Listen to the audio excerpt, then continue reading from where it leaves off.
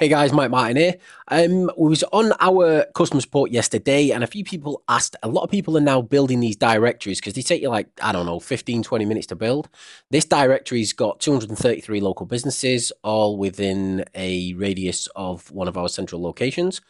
And it probably took about 15, 20 minutes to build and we'll start to rank, as you can imagine, for all of their direct traffic. So we'll nick all the direct traffic, we'll add our own phone number at the top, and we'll then sell them the leads back from their own traffic. However, as you all know, schema is super, super, super important when it comes to ranking. All right, now, and it's technical, it's difficult to do, and it's a pain in the ass unless you're a coder. Okay, so let me just quickly show you. There's no schema on this um, page at all at the minute. So if I just open the structured data testing tool, you will see that there is no local business schema on here. Shouldn't be. Okay, so we've got nothing on there detected, okay? Right, so adding general schema to all these pages is kind of a waste of time, okay? It's kind of no point whatsoever. So this is where the magic comes in. Once we've imported the data from Lead Simplify into our Magic Page plugin, all right, it then gives us tons of shortcodes down here. So check out all these shortcodes. See them all? Yep, these are the ones you get normally, and these are the new ones that we've with the imported data that it's created, okay? So to add schema, I know I've not filled in all the SEO details and everything on here, but to add the schema, right? So this this was a plumbing website. So what you do is click on here. You don't need to do the advanced stuff, okay? The advanced stuff's for the guys who want to sit there and build their own code, do all the crazy shit. It still makes it super easy, but you don't need it, all right? Especially not for these type of sites. So we're going to now open the schema builder. So we've got the simple, simple schema builder. We're then going to open the schema builder here. And as you can see, it auto-populates local business, and then it's got all these short codes that will auto populate. So it will pull in the correct longitude, the correct latitude, and things like that. You can put in the business opening hours and so on and so forth. But what we want is we actually want the business's individual information pulling in, right? So what we do is this was a plumber. So I'll scroll down and I will look for plumber. I've probably already passed it. You're probably screaming at it saying, why can't you see it? There we go, plumber. Right, so this is a plumber one, right? Business name. So we don't want the site title there. Normally we would if we're doing a location slash keyword, because whatever the site title is, or whatever the location keyword title is, is going to be, you're probably going to put your meta title in here, I would imagine, or, or your business name and your site title. But for this, because it's a directory, you want their business title. So what we're going to do is see here, company name. So I'm going to click on that. I'm going to paste that in there. So that means every single page now is dynamically going to have the business's company name on. Okay, the ID site underscore URL.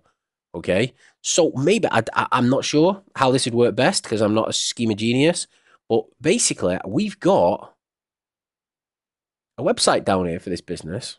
I don't know whether we're going to want to use ours or their ID, so we'll put that in there. Address, right? So we've got the full. So in this one, I'd probably use. You've got address line one, two, three, four, category, company name, description, full address. Okay, let's see what that does. Let's put the full address in there. Okay. Uh, city. I'm probably just going to leave that as location, to be totally honest. Region, zip, not going to need to change. Country, ISO. Okay, so we're going to want to put the phone number in. Have we got a customer's telephone? Yes, we have. Down here, we've got a link for that. So what we're going to do is paste that in. Um, I don't think we pulled in their email details. We didn't. So just to have something in there, I'm going to put that in. Um, site URLs theirs. Logo, we're going to use the image for that. SEO image. Right, you're going to put in a price range. We don't pull in short codes for that, but let's say we're just going to say uh, 52, 500 an hour. Okay, some crap like that. Meta description. Um, I think we had a specific description tab in here somewhere. There we go. What's that? I don't know what that's going to show, guys. We're going to see all that in a minute. Paste that in there. Um, and we might have look at that. We've got a maps URL as well.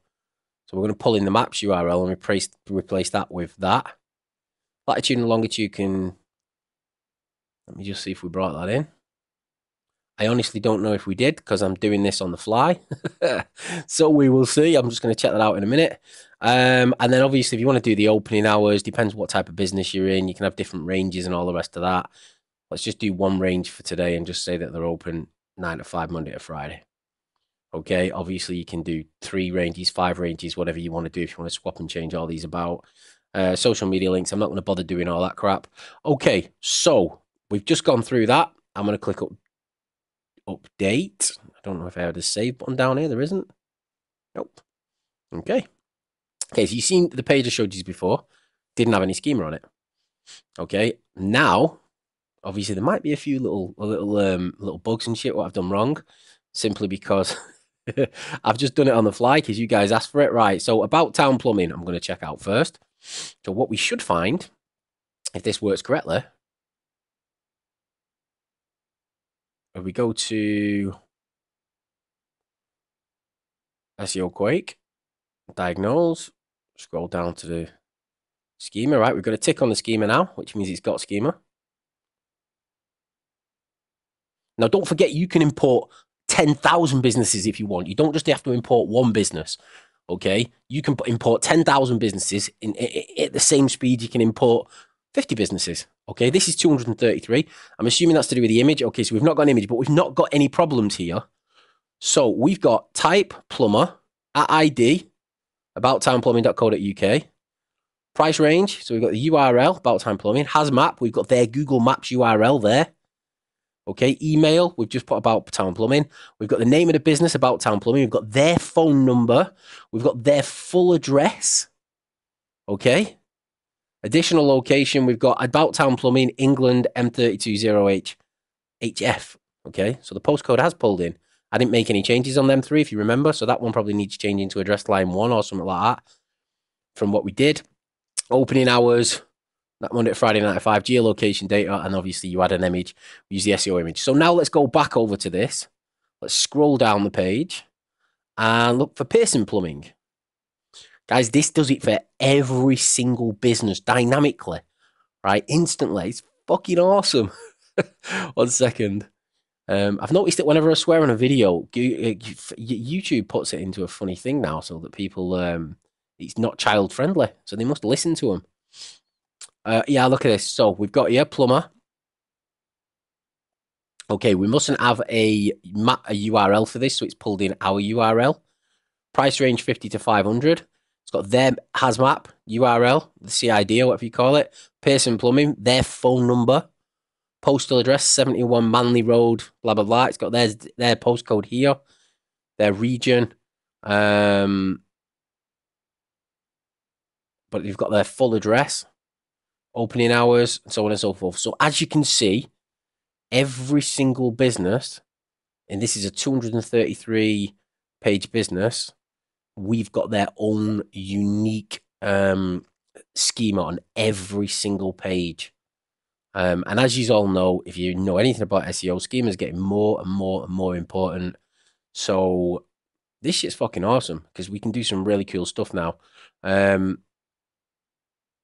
and again, different URL. Radcliffe Plumbing. There's their full address. Postcode England, Rawcliffe, I think it is, sorry. 32 Rawcliffe Street, Rusholme, Manchester. Opening hours. They've all got their own unique schema on every single page. Now, if you want to get rid of that plum, uh, that um, image error that we've had on all them that I've just shown you, scroll down and there's a thing down the bottom here that says SEO image choose a file, import the image, any image you want. I just uh, do your um, thingy logo for your for your directory, and you're done. Every single one of them pages now has unique schema for every single one of these businesses. Every single one of them. Now, if you're using the new magic page that's coming out in a few days, you're going to be able to push all these to posts or pages. So every single one of these will have their own internal link, linked silo between them all. Plus, they will all have their own individual unique schema for every single business that you've exported from Lead Simplify. And then after you've done that, you're then in a situation where you can uh, push them to pages or push them to posts, so they're static, and then come back to the magic page, delete their page that you've just done with them guys, and recreate a magic page for your keyword slash location. So it'll be plumber in Manchester, plumber in Liverpool, plumber in Leeds, and so on and so forth. So what you're going to be able to do is generate tons and tons of traffic from all their direct business uh, for their direct traffic and steal all that for your business. Plus, you're going to be able to use keyword location and rank for all them. And let's say we're targeting Manchester within a 10 mile radius, you're going to have every single business every single other plumber within a 10 mile radius of Manchester. So you're going to be stealing lots of their direct traffic, and they're all going to have their own individual schema and everything added on there for you. And you're going to have keyword slash location for every single area within, say, a 10 mile radius of Manchester, meaning you're going to have to absolutely fucking smash it. Okay, guys, hope that helps. Thank you very much. Cheers. Bye bye.